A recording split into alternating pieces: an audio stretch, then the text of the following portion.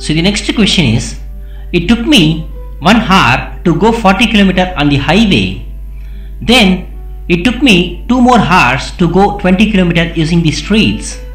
So the question is, what is the average speed?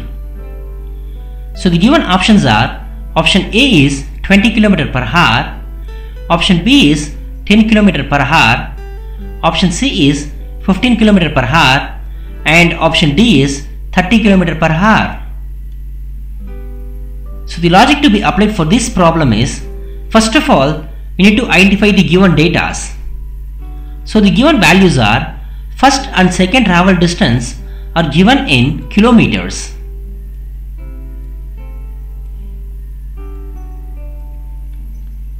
And the time is given in hours. Secondly, we have to calculate the total distance by using the formula total distance is equal to the first travel distance plus the second travel distance.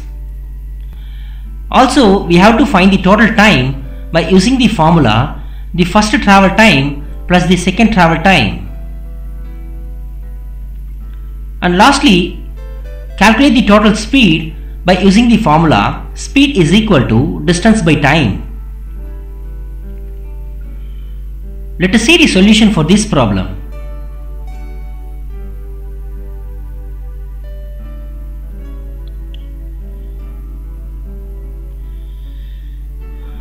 Since the total distance is equal to the first trip distance plus the second trip distance which implies the total distance is equal to the 40 km per hour sorry the 40 km plus 20 km which is equal to 60 km therefore the total distance is 60 km and the total time is equal to the first trip time plus the second trip time which implies the total time is equal to 1 hour plus 2 hours which is equal to 3 hours. Therefore, the total time is equal to 3 hours. So the average speed is equal to total distance by total time is the formula. So substituting the known values in this formula, we get the average speed is equal to 60 km by 3 hours which is equal to 20 km per hour. Therefore, the option A 20 km per hour is the answer.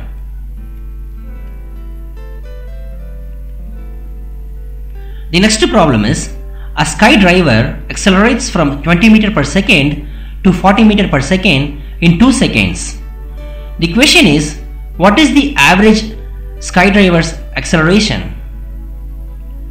So the options given are option A is 10 meter per square second, option B is 20 meter per square second, option C is 30 meter per square second and option D is 40 meter per square second. So the logic to be applied for this problem is first of all we need to identify the given values. So the given data are the initial and final acceleration are in meter per second and the time is in seconds.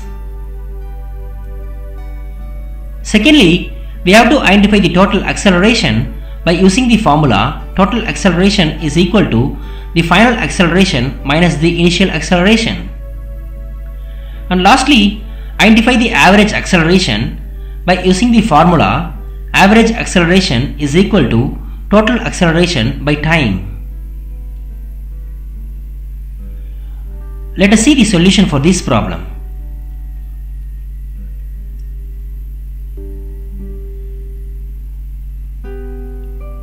Since the average acceleration is equal to the final speed minus the initial speed divided by time.